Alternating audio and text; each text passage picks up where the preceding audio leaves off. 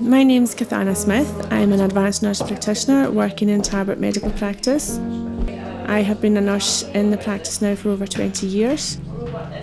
I have also been uh, awarded Queen's Nurse as one of the new cohort for 2018. I was very lucky to be picked as one of 20 in Scotland this year. Uh, my role as an advanced nurse practitioner in general practice is a relatively new role and one that I am really keen to try and increase the knowledge of. We are not GPs, we are not trained as GPs, but we are very highly qualified nurses who actually the, our role is to support our GP colleagues by taking the weight of the patients that aren't so difficult to deal with and letting them look after the patients that are much more complicated. So it's a complementary role, and in a team, it does work really well together.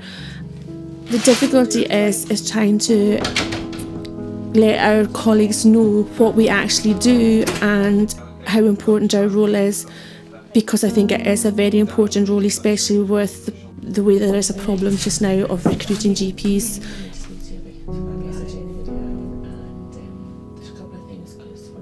Basically, I can do exactly the same as a GP would do. I would do different tests that I thought were appropriate to try and find out what your diagnosis was. I could refer you to other specialities if I felt that was required. I can prescribe medication. I can send you for x rays or ultrasounds, and I can admit you to hospital if that is what is required as well.